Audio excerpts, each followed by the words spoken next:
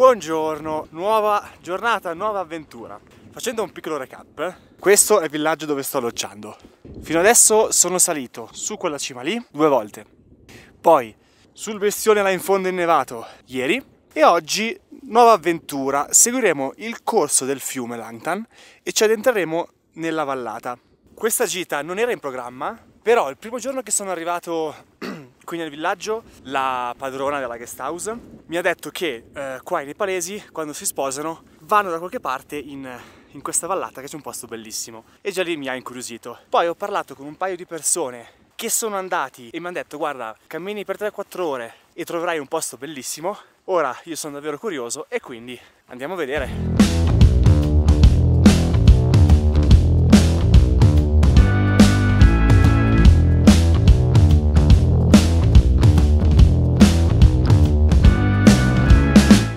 Appena incontrato un ragazzo nepalese che sta tornando dal posto in cui voglio andare. Mi ha detto che sono ancora 6 km e gli ho chiesto ma come faccio a capire che sono arrivato? C'è qualche struttura, c'è un lago, c'è qualcosa? E mi ha detto no, non c'è niente. Guarda il tuo orologio, quando sei ad altitudine 4220 e, e ti trovi il ghiacciaio della montagna che sta comparendo adesso, che viene giù di fronte a te, sei arrivato. Quindi molto la buona.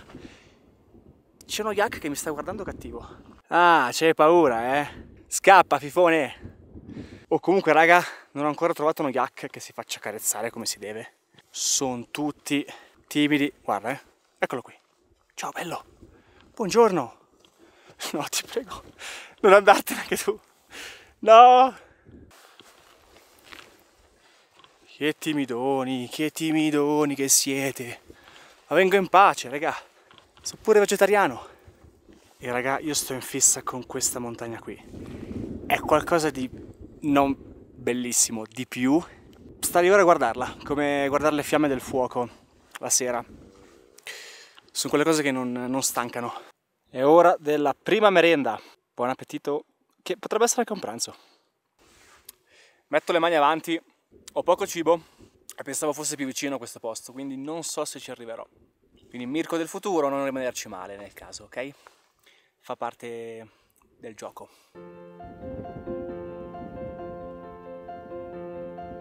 Ci sono una decina di stambecchi e hanno il pelo molto lungo rispetto a quelli italiani, ma il fischio che fanno è lo stesso, quindi sarà la stessa famiglia, presumo. E che belli.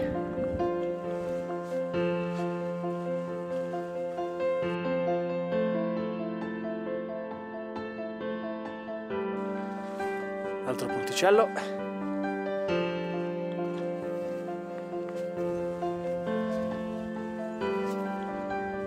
Buongiorno.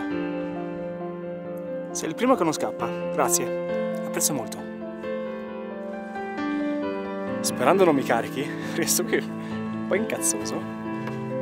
Ho intravisto lo scheletro. Mi domandavo se sarà morto per causa naturale o se hanno qualche predatore. Chi lo sa? Qualche predatore che potrebbe attaccare anche a me. Attenzione, suspense.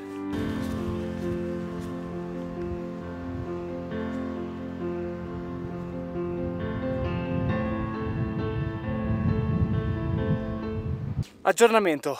Io ero più o meno a un chilometro da qui, in quel pratone, e stavo pensando di fermarmi, però poi dalla mappa sul telefono ho visto che c'è una lingua di un ghiacciaio che dovrebbe sbucare proprio dietro questa collina e ho visto anche che c'è un sentiero teoricamente che fa il giro largo. Quindi io l'azzardo taglio dritto per dritto qui e in 500 metri dovrei sbucare al ghiacciaio. Speriamo. Se no devo comunque poi tornare indietro di corsa perché è già quasi luna. Vamos. Purtroppo le tracce degli scarponi di esseri umani le ho perse più o meno di sotto perché facevano il giro largo. Pazienza. Dai che è lì. Io direi che questa non si è messa qui da sola, quindi qualcuno è passato prima di me. Raga, intravedo un bastone, qualcosa di sollevato, di piantato a terra, quindi penso che lì in cima passi il sentiero. Civiltà. Qui c'è il sentiero. E scopriamo in diretta se ne basta la pena o se non c'è nessun ghiacciaio e torno indietro a testa bassa. Vediamo.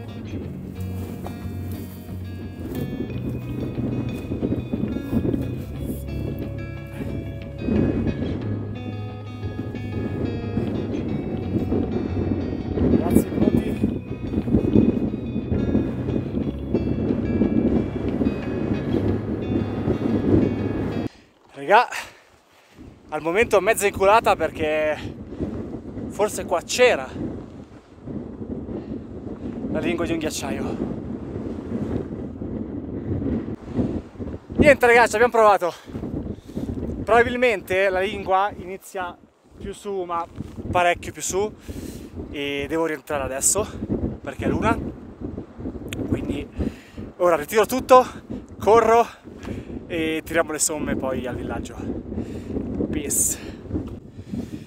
Eccoci qua, finalmente arrivati in guest house. Ragazzi, che fatica! Tour della guest house. È arrivato il momento.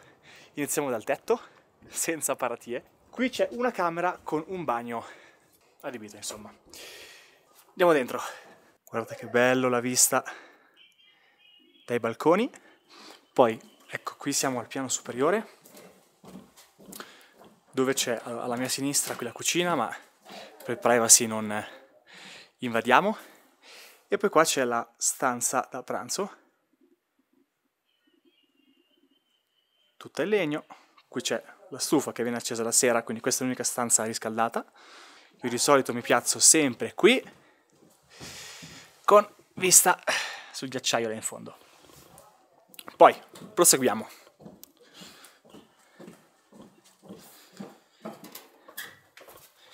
Andiamo giù giù giù. Allora, la prima chicca che vi faccio vedere, scusate, vi faccio vedere è il bagno.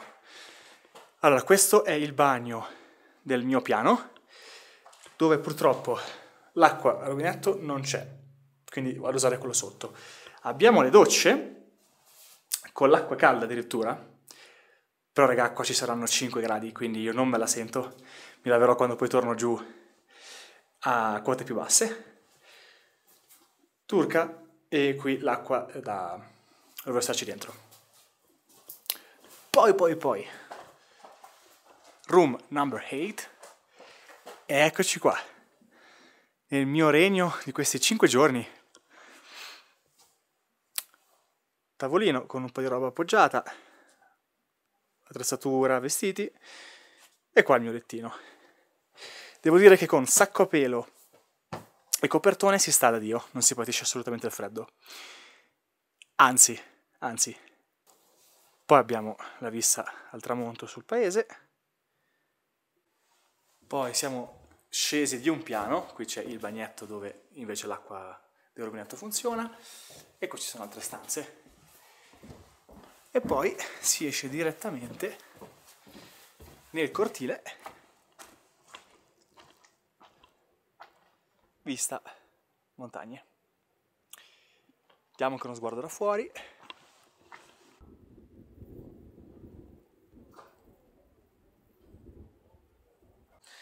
E facendo un paragone con Kathmandu, al giorno per vivere qui spendo più o meno la stessa cifra, sui 15-16 euro, solo che a Kathmandu il grosso andava per l'appartamento e mangiare davvero non costa nulla. Qua in montagna al contrario, spesso si dorme gratis o per davvero un euro, però il cibo costa e un paragone, il tè al limone caldo al mattino mi costa 10 volte di più che a Kathmandu, da 15 rupie a 150. E un piatto di chomien, che sono tipo degli spaghetti, alle verdure da 100 rupie passa a 600 rupie. Quindi qua in montagna costa tanto il cibo, però per fortuna si risparmia sull'alloggio. Ah, regà, mi sa che ho preso un po' di sole oggi. Oh, che roba! Siamo qui attaccati alla stufa e aspettiamo la cena. Madonna, non vedo l'ora. Perché sto piatto che ho scoperto mi, mi fa impazzire. Adesso appena arriva ve lo faccio vedere. Ma quanto sono belli, regà. Ma quanto sono belli, quanto sono buoni. E subito è arrivato anche lui, ovvero patate e formaggio. Raga, oggi ho saltato il pranzo, quindi me lo merito. Raga, buon appetito.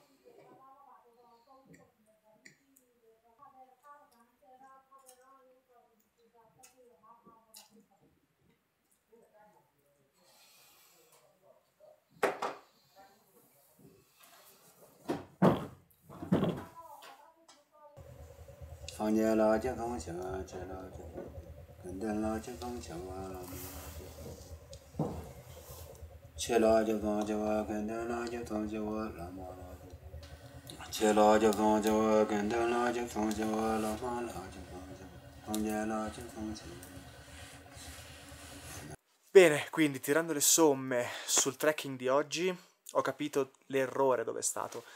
Nel senso che appena ho deciso di andare dritto per dritto, tagliare su quella collina per sbucare teoricamente dall'alto e vedere la lingua del ghiacciaio, mi sono distratto e non mi sono reso conto che dovevo seguire l'altra traccia, la traccia che seguiva il fiume, che sul telefono, sulla mappa del telefono c'era, e che mi avrebbe portato a un'altra lingua di ghiaccio.